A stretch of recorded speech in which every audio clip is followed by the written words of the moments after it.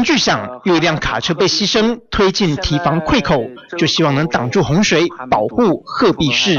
我们把我们的车都开进去了，买的新车将近二十辆，只可惜功败垂成，因为二十二号一天之内，鹤壁累计雨量七百七十七点五公里，比前两天下在郑州的雨还多，最终还是溃堤泛滥。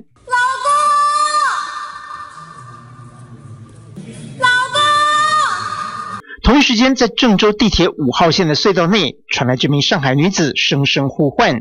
因为她的丈夫日前来郑州出差，不巧搭上出事的地铁，在试图逃生的过程中被洪水冲走。他们都没有没有说，但是我我觉得我觉得还是还是还是希望可以，因为我我很想相信他，他也没让我失望过。不止地铁里有人生死未卜。暴雨后进入第四天，郑州的阜外医院还是被洪水围困的孤岛，断水断电。缓缓驶来的这架飞机，它所承载的就是来自阜外医院的危重症的患者。重症病患搭直升机转院，其他医疗人员只能划船离开。起飞。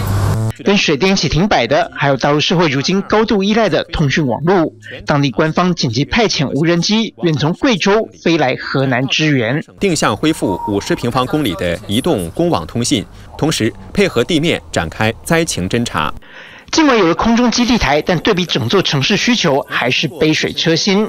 郑州的行动支付系统瘫痪，对于已经不习惯用现金的民众来说，连采买购物都有困难。有些人甚至已经开始以物易物。记者孙恩综合报道，请订阅、按赞、分享 TVBS News 频道，要开启小铃铛哦。还有还有，下载 TVBS 新闻手机 App，随时掌握国内外大事。